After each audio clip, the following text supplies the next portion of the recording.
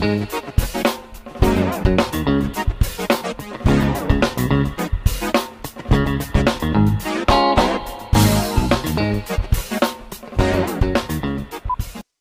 I'm Kristi, and welcome to Trailer Trash or Treasure, the show where we take a look at movie trailers and analyze them as both communication and as art.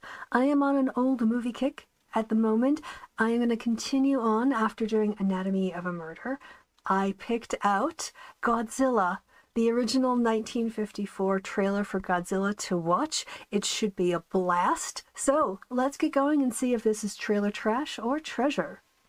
Alright, so a few notes about this film before we get started. Godzilla is a 1954 Japanese kaiju movie. I'm just forgive me. I'm t- I don't speak any Japanese. Directed by Ishiro Honda. We're gonna watch that original trailer and see what people in the in 1954 thought would be really attractive to viewers in order to draw them into the cinemas. All right, here we go. Godzilla, king of the monsters, alive, yeah. surging up from the depths. I love this. That's so sweet. It's so cute. Look at like I get that they want to do the you know the um practical effects, which was kind of all they had at the time, but it, it literally looks like he's in like um like a tub that's pushing bubbles up. And I know that they've got the sky there and it's meant to be but it's you know, I love this. This is great. And this is this is amazing. All right, let's keep going.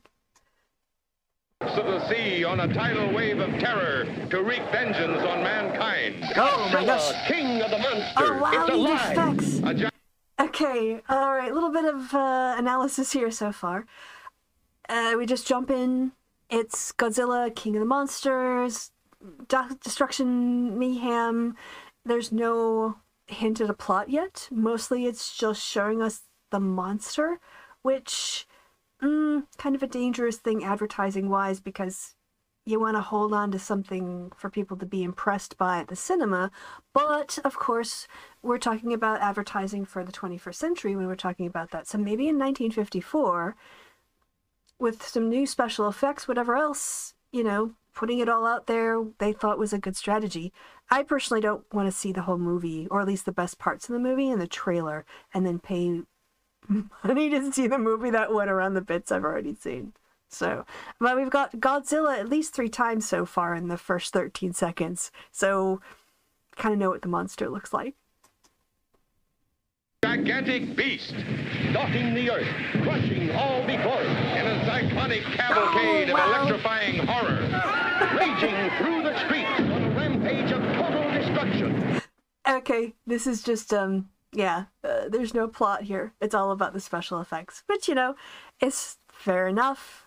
Not, I think, really super with advertising, but uh, you know, they're working on trying to build up a spectacle, and they certainly are going for the spectacle angle here with the various scenes of destruction and flames and all of the special effects that they probably spent a lot of time on and put a lot of hard work in to look like that. Godzilla, king of the monsters. Incredible titan of terror, wiping out a city of six million in a holocaust. I, I'm sorry, I'm not laughing at the, the wiping out of the city. What I'm laughing at is, and this is, oh, I love this. Okay, if we, we back up a little bit, if you, I don't know, maybe kind of slow, small to see on your screen, but when he blows up and sets fire to the buildings, the entire like back of the cardboard must have lifted off because the entire like set as if it had just so just watch i don't know if you can see it but it's it's definitely there Age of total destruction. Godzilla, king of the monsters. Incredible titan of terror, wiping out a city of six million in a holocaust of flame. Jet flames cannot destroy it. While I can't hear the audio narration over these loud jet noises. So the mix not not really up to snuff yet. Definitely don't want to be competing with the sounds of your special effects with your narration. So that's just that's just like an error in terms of communicating with your audience, I would say. cannot kill it. Modern weapons fail. Is Oh, this the end of our civilization? Can the scientists of the world find a way to stop this creature? Or the answer, see Godzilla, King of the Monsters. You may wish to deny it, but your eyes tell you it's true. Is that Perry Mason? Is he in this? I have to look now after this. That looks like Perry Mason. Maybe it's just like like it looks too similar to him. But anyway, we'll find out afterwards. There's a little hint to the plot there. They inform us that scientists are trying to stop Godzilla, which I guess maybe if you're a massive Godzilla fan, you're already quite familiar with this plot line of, you know, science versus wondrous animal creatures thing. A tale to stun the mind. More fantastic than any ever written by Jules Verne. More terrifying than any ever shown. Is it though? So this is interesting. I don't really hear a lot of advertising where they say, uh, you know, oh maybe like like from you know, maybe they'll bring in Stephen King as a reference, but usually you don't bring in another author when you're trying to sell your product. It seems a little little bit weird. I don't know that I would be like you know um even scarier than Stephen King. I guess would you know you know who your standards are then, but it's kind of a weird advertising attempt, I think. on the screen. Awesome. Incredible. Unbelievable. A story beyond your wildest dreams. You're really hyping this. Dynamic violence. Savage action. I have to say, um, you can tell 1950s was very different because I don't really know that people would be all that thrilled with. Uh, let's just go. Dynamic Yeah, dynamic violence. I am. Mm, is that a selling point? I, I guess in 1954's movie cinema goers it was, but it seems like a kind of a weird way to phrase this.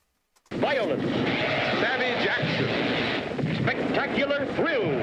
Godzilla, King of the Monsters. Fantastic beyond comprehension. They're just shouting at me now. They're just shouting how wonderful it is while talking over the special effects and the sounds. I'll give you my rating at the end. Gripping beyond compare. Astounding beyond belief. The mightiest monster of them all.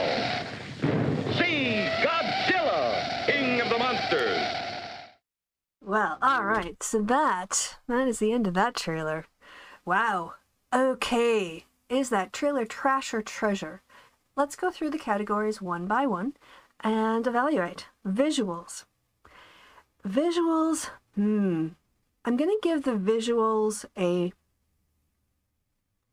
I guess probably for the time, in this case, you know, I'm going to say, like, I have to think a little bit about what they had to work with in the special effects. They're really giving it all their all. I don't know that the visuals really hang together, though. So, do they present a coherent narrative feel? Mm, I guess, insofar as if you want to just say it, it advertises dynamic violence and special effects, yeah, you could probably, that was fine. So, let's just, let's just give them the treasure audio wise trash uh, when you have the voiceover getting drowned out by the sound of jet fighters or over the sound of godzilla screeching or whatever wah noise he's making then it's difficult to hear so audio wise both with the mix and kind of the content of it i'm going to give it trash concept wise I understand what they were going for, which is spectacle, spectacle, spectacle. On the other hand, and I'm just gonna, I mean, I have to hold this to the same standard I held Anatomy of a Murder, right? I think there is something to be said about having like some sort of through line. And this doesn't really have it. I don't think that just advertising spectacle, spectacle, spectacle over and over and over is is a is like a coherent concept that is designed to evoke a certain emotional response. Your it, um, how can I put this? So it's like the difference between uh, wearing something flashy and then wearing something flashy while being on the dance floor and like doing something that looks cool you know like you want to bring it you want to bring it all together and yeah you can have the flash and the this pizzazz. But at the end of the day, that's a very limited market. So I guess what I'm getting is is ah yeah, yeah trailer trash or treasure or meh. Ah, this one's harder than Anatomy of a Murder. But end of the day, I'm gonna go meh.